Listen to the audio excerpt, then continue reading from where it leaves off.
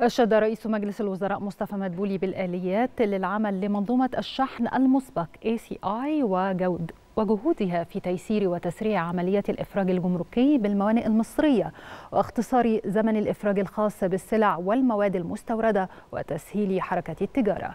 وخلال اجتماع لمتابعة موقف تطبيق المنظومة لفت مدبولي إلى ضرورة المتابعة الدورية إلى الجهات المسؤولة بما يسهم في تفعيل عمل هذه المنظومة لتسريع وتيرة الإفراج عن المتبقيات بالموانئ. الاجتماع تناول كذلك استعراض الموقف الحالي للمنظومة وكذلك موقف البضائع الواردة. وكذلك مؤشرات الأداء في الموانئ البحرية المختلفة ومطار القاهرة الجوي.